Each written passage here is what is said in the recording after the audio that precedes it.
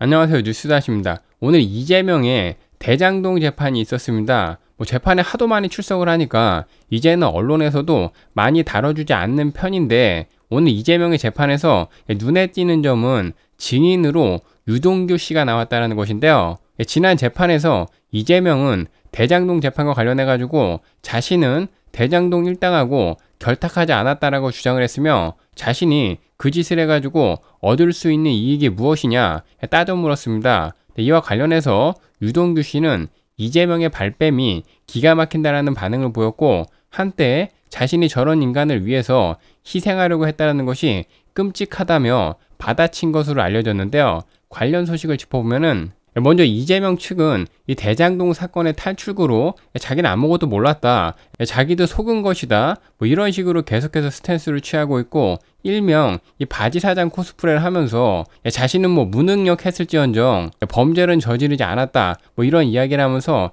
계속해서 김만배를 비롯해서 민간 업자들과 결탁을 하지 않았다라는 이런 주장을 내세우고 있습니다. 실제로 이재명 쪽에서는 대장동 사업 등은 이미 수의 계약을 해도 되는 사안임이 분명하기에 자신이 결탁을 했으면은 그렇게 해서 간단하게 넘어갈 수 있었을 것이라면서 2014년도에 계약 위탁을 할 때 대장동 매입자들이 자신들을 동업자로 지정해달라고 한참 로비를 했기 때문에 그 여지를 없애기 위해서 출자해서 하라라고 수기로 지시했다라고 강조했습니다. 이 말은 한마디로 이재명은 자신이 민간 업자들하고 짜고 그들에게 이익을 몰아주려고 했다면은 복잡한 과정을 걸치지 않고 그들에게 수의 계약으로 넘겨버리고 은밀하게 이 사업을 진행을 했을 것인데 굳이 번거롭게 공개적인 방법으로 투명하게 진행을 하는 것은 그들하고 결탁하지 않았다라는 증거라고 이야기하고 있는 것이며 현재 검찰에서 주장하고 있는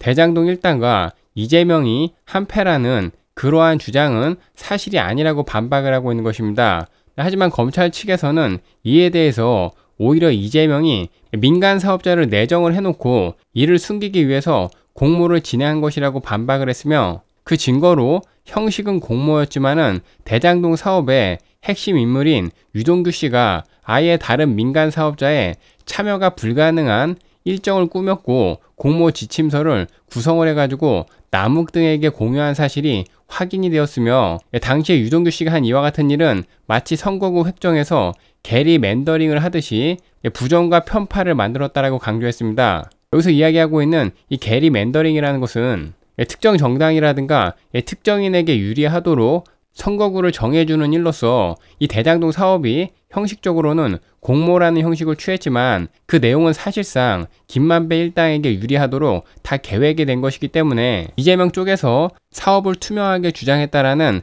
저러한 말은 말이 안 된다라고 반박을 한 것인데요. 네, 그리고 실제로 사업자 선정 과정이 굉장히 짧았음에도 불구하고 민간 사업자 중에서 맞춤형 공모 지침에 딱 맞게 사업 계획서를 준비한 사업자는 남욱 쪽밖에 없었습니다. 네, 그리고 유동규 씨 역시도 이와 같은 검찰의 주장에 대해서 힘을 보태었는데 김용과 정진상은 김만배와 처음부터 대장동 사업을 논의했고 모든 사안을 다 공유한 사이였다라고 이야기했으며 자신이 구속이 된 이후에 멀어졌지만 그때는 모든 사업 관련 보고를 공유했었다라고 이야기했습니다. 또 이뿐만이 아니라 대장동 선정 과정이라든가 김만배로부터 받기로 한 지분 등에 대해서 정진상이라든가 김용과 대응 방안도 논의했다라고 이야기했는데요. 아무튼 뭐 유동규 씨의 증언이라든가 검찰 조사에 따르면은 이 대장동 사업은 껍데기만 공정한 공모 절차를 거친 것이고 그 속내는 짜고 친 고스톱이라는 것을 알 수가 있는 대목입니다.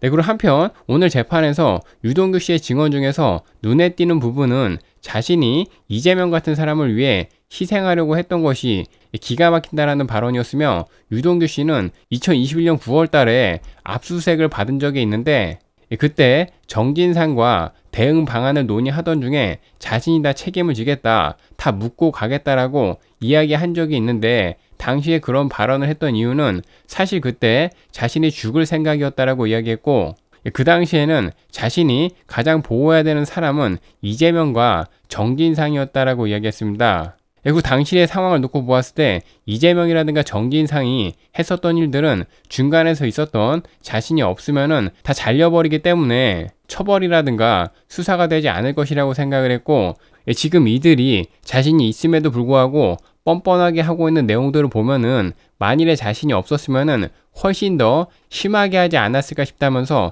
목소리를 높인 것으로 알려졌습니다. 네, 그러면서 그 당시에 이재명이라든가 정진상을 지킨다라고 생각을 했던 것이 끔찍하다라고 비판했는데요. 네, 한마디로 유동규 씨 같은 경우에는 자기가 두 눈 뜨고 멀쩡히 살아있음에도 불구하고 이재명이라든가 정진상 이쪽 패거리들은 이 모든 사건을 유동규 씨에게 뒤집어 씌우려고 하고 있으며 이재명 같은 경우에는 유동규 씨를 그렇게 오랫동안 알고 지냈음에도 불구하고 문제가 생기니까 자기 측근이 아니라고 내쳐버리는 등 뭐 이런 행동을 하고 있는 것을 보니 만일에 유동규 씨가 이들을 의형제로 생각을 하고 이들의 죄를 덮기 위해서 극단적인 선택이라든가 뭐 그런 행동을 했다면은 아마 모르긴 해도 이재명이라든가 대장동 일당은 전부 다 유동규 씨에게 책임을 떠넘기지 않았을까 뭐 이러한 생각이 듭니다. 그리고 유동규 씨 역시도 이러한 생각을 하고 있으니까 법정에서 끔찍하다라고 이야기한 것이겠죠. 아, 또 유동규 씨 같은 경우에는 구속이 될 때까지만 하더라도 아마 굉장히 착각을 하고 있었던 것으로 보입니다.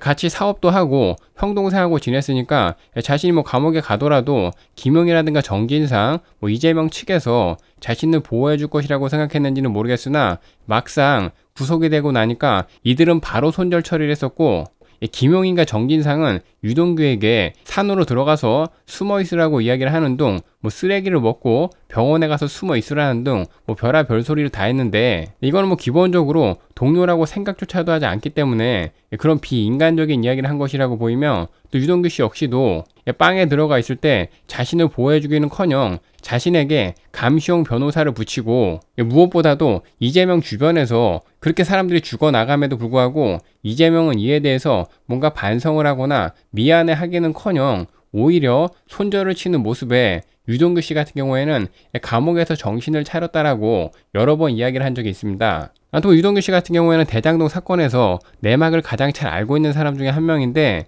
오늘 재판도 그렇고 앞으로도 대장동 재판에 증인으로 자주 출석을 해서 이 사건의 전말을 이야기할 것으로 보이는데 이재명의 대장동 재판은 앞으로 점점 힘들어지지 않을까 뭐 이러한 생각이 듭니다. 또 이뿐만이 아니라 이재명은 지난 재판에서 자신이 대장동 일당하고 결탁을 해서 얻을 이익이 무엇인가라고 따져 물었지만 이 부분에 대해서는 이재명이 위례 사업을 2014년 성남시장 선거를 활용하려고 했었고 남욱으로부터 2014년 재선 선거 지원을 약속을 받아서 선거 자금과 뉴스 댓글 작업 등을 지원받은 것으로 알려졌으며 또 이뿐만이 아니라 아직은 뭐 드러나지 않았지만은 민간 사업자들로부터 금전적인 이득도 약속받았을 가능성도 충분히 있으며 또 대장동 패거리들하고 어울리면서 정치적인 이득도 상당히 누렸습니다. 가장 대표적인 게 이재명이 선거법 위반 사건으로 정치 생명이 나가리 직전일 때 김만배가 권순일 대법관을 엮어가지고